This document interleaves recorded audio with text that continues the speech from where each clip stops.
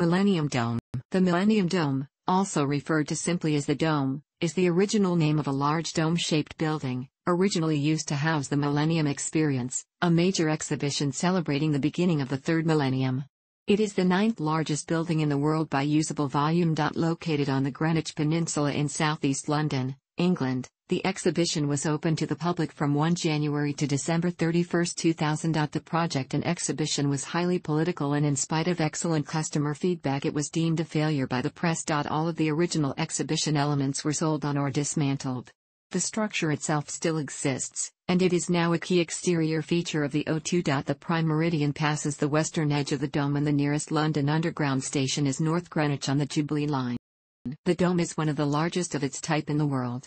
Externally, it appears as a large white marquee with 12 100 meters high yellow support towers, one for each month of the year, or each hour of the clock face, representing the role played by Greenwich Mean Time. In plan view, it is circular, 365 meters in diameter. It has become one of the United Kingdom's most recognizable landmarks. It can easily be seen on aerial photographs of London. Its exterior is reminiscent of the Dome of Discovery built for the Festival of Britain in 1951. The architect was Richard Rogers and the contractor was a joint venture company, McAlpine slash Laing joint venture formed between Sir Robert McAlpine and Laing Management. The building structure was engineered by Buro Happold, and the entire roof structure weighs less than the air contained within the building. Although referred to as a dome it is not strictly one as it is not self-supporting, but is, in fact, a giant big top, the canopy being supported by a dome-shaped cable network, from 12 king posts. For this reason, it has been disparagingly referred to as the Millennium Tent. The 12 posts represent the 12 months of the year, another reference to time in its dimensions, alongside its height and diameter. The canopy is made of PTFE coated glass fiber fabric, a durable and weather resistant plastic, and is 52 meters high in the middle, 1 meter for each week of the year. Its symmetry is interrupted by a hole through which a ventilation shaft from the Blackwall Tunnel rises. The critic Jonathan Meades has scathingly referred to the Millennium Dome as a museum of toxic waste, and apart from the dome itself, the project included the reclamation of the entire Greenwich Peninsula. The land was previously derelict and contaminated by toxic sludge from East Greenwich Gas Works that operated from 1889 to 1985. The cleanup operation was seen by the then Deputy Prime Minister Michael Heseltine as an investment that would add a large area of useful land to the crowded capital. This was built as part of a larger plan to regenerate a large, sparsely populated area to the east of London and south of the River Thames, an area initially called the East Thames Corridor but latterly marketed as the Thames Gateway. The Dome project was conceived, originally on a somewhat smaller scale, under John Major's Conservative government, as a Festival of Britain or World's Fair type showcase to celebrate the third millennium. The incoming Labour government elected in 1997 under Tony Blair greatly expanded the size, scope and funding of the project. It also significantly increased expectations of what would be delivered. Just before its opening Blair claimed the dome would be a triumph of confidence over cynicism, boldness over blandness, excellence over mediocrity. In the words of BBC correspondent Robert Orchard, the dome was to be highlighted as a glittering new Labour achievement in the next election manifesto, but criticised in the 2001 Conservative Party manifesto as banal, anonymous and rootless, and lacking a sense of Britain's history or culture. However, before its opening, the dome was excoriated in Iain Sinclair's diatribe, Sorry Meniscus, Excursions to the Millennium Dome, which accurately forecast the hype, the political posturing and the eventual disillusion. The post-exhibition plan had been to convert the dome into a football stadium which would last for 25 years. Charlton Athletic at one point considered a possible move but instead chose to redevelop their own stadium. Fisher Athletic were a local team interested in moving to the Dome, but they were considered to have too small a fan base to make this feasible. The Dome was planned to take over the functions performed by the London Arena, after its closure. This is the function which the O2 Arena has now undertaken. After a private opening on the evening of December 31, 1999 the Millennium Experience at the Dome was open to the public for the whole of 2000, and contained a large number of attractions and exhibits. The interior space was subdivided into 14 zones. Who we are, what we do, where we live, surrounded by the zones was a performance area in the center of the dome. With music composed by Peter Gabriel and an acrobatic cast of 160, the Millennium Dome show was performed 999 times over the course of the year. Throughout the year, the specially commissioned film was shown in Skyscape. There was also the McDonald's Our Town Story project in which each local education authority in the UK was invited to perform a show of their devising which characterized their area and its people. As well as the above, the first ever series of techno games was filmed there and shown on BBC Two the same year. There were a number of other attractions both in and outside of the dome. Inside the dome there was a play area named Timekeepers of the Millennium, the Millennium Coin Minting Press in association with the Royal Mint, the 1951 Festival of Britain Bus, and the Millennium Star Jewels outside was the Millennium Map, the Childhood Cube, Looking Around, Greenwich Pavilion, the Hanging Gardens at the front of the dome, as well as a number of other art installations and sculptures.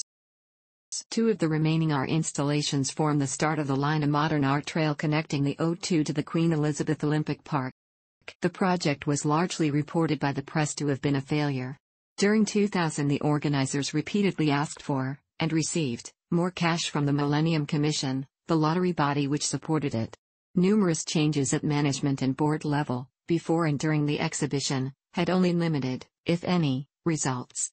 Jennifer Page was sacked as chief executive of the new Millennium Experience Company just one month after the dome's opening. Press report suggested that the then Prime Minister Tony Blair personally placed a high priority on making the dome a success. But part of the problem was that the financial predictions were based on an unrealistically high forecast of visitor numbers at 12 million. During the 12 months it was open, there were approximately 6.5 million visitors, significantly fewer than the approximately 10 million paying visitors that attended the Festival of Britain, which only ran from May to September. Empire Exhibition, Scotland 1938 held in Glasgow attracted more than 12 million visitors being open May to October. Unlike the press, visitor feedback was extremely positive. It was the most popular tourist attraction in 2000, second was the London Eye, third was Alton Towers, which had been first in 1999. According to the UK National Audit Office, the total cost of the dome at the liquidation of the new Millennium Experience Company in 2002 was £789 million, of which £628 million was covered by national lottery grants and £189 million through sales of tickets etc. A surplus of £25 million over costs meant that the lottery grant was not required. However, the £603 million of lottery money was still £204 million in excess of the original estimate of £399 million required, due to the shortfall in visitor numbers. It was, however, still of interest to the press, the government's difficulties in selling the dome being the subject of much critical comment. The amount spent on maintaining the closed building was also criticized. Shortly after it had closed, Lord Falconer reported that the dome was costing over £1 million per month to maintain. Following closure of the dome, some zones were dismantled by the sponsoring organizations, but much of the content was auctioned out. This included a number of artworks specially commissioned from contemporary British artists.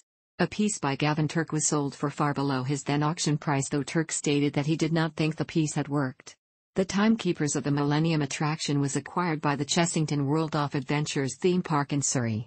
A unique record of the memorabilia and paraphernalia of the Millennium Experience is held by a private collector in the United States. Many of the fixtures and fittings were also purchased by Paul Scally, chairman of Gillingham FC, for the club's stadium.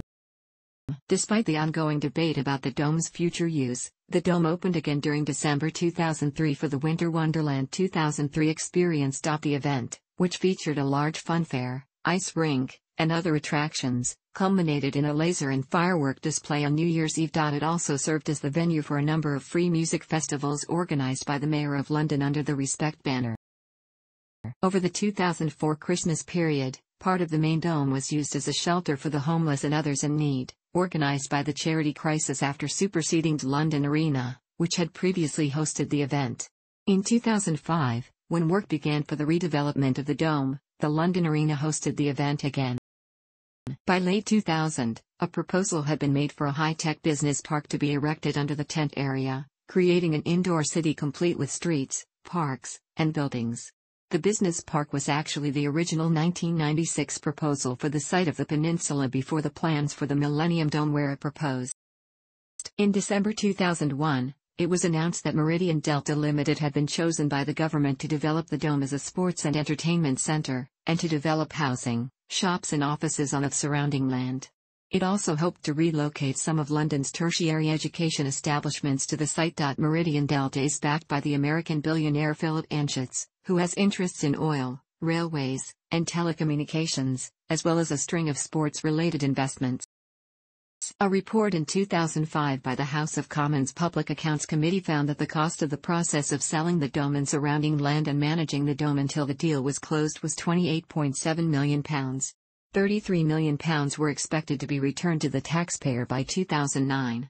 The value of the 48 acres occupied by the dome was estimated at £48 million, which could have been realized by demolishing the structure, but it was considered preferable to preserve the dome. The dome was publicly renamed as the O2 on May 31, 2005, in a £6 million per year deal with telecommunications company O2 plc, now a subsidiary of Telefonica Europe. This announcement, which presaged a major redevelopment of the site that retained little beyond the shell of the dome, gave publicity to the Dome's transition into an entertainment district including an indoor arena, a music club, a cinema, an exhibition space and bars and restaurants. This redevelopment was undertaken by the Dome's new owners, the Anschutz Entertainment Group, to a design by HOK SVE and Buro Happold. It cost £600 million, and the resulting venue opened to the public on June 24, 2007, with a concert by rock band Bon Jovi. During the 2012 Summer Olympics, the artistic gymnastics events, along with the medal rounds of basketball, were held at the O2. It also held wheelchair basketball events during the 2012 Summer Paralympics. For sponsorship reasons, during those times the arena was temporarily renamed North Greenwich Arena. Issues related to the dome damaged Peter Mandelson's and John Prescott's political careers. The scheme was seen as an early example of what some saw as Tony Blair's often excessive optimism, who stated at the dome's opening, In the dome we have a creation that, I believe, will truly be a beacon to the world. The fact that Mandelson's grandfather was Herbert Morrison who as a minister had been involved with the Festival of Britain often was drawn on for negative comparisons. Thanks for watching. Don't forget like the video and don't forget to subscribe.